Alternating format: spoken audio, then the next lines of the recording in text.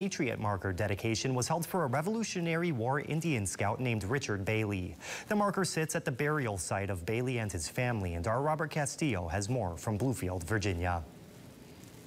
Hey, Several generations of Richard Bailey's family are gathered here to see their forefathers' recognition. Bailey, an Indian scout during the Revolutionary War. The honor they witnessed here is bestowed by members of the General Hugh Mercer chapter of the Sons of the American Revolution. The group is dedicating this Patriot marker on Bailey's final resting place. It's where he's buried in a family plot.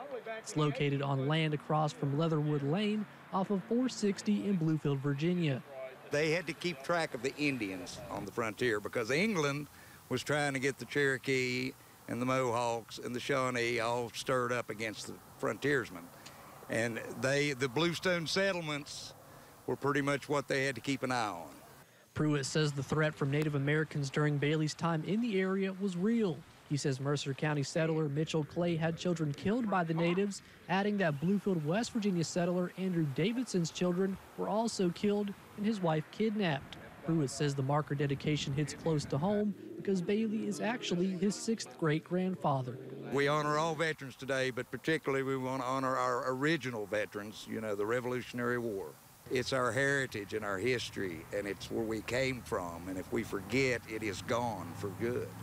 Pruitt says Bailey was born around 1722 and died somewhere between 1813 and 1818. Pruitt says Bailey also served in the French and Indian War as well.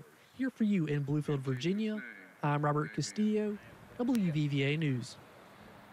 Thank you for that report, Robert. Pruitt says four more Patriot markers are being planned for veterans in Mercer County, and he anticipates that they'll be placed sometime this year.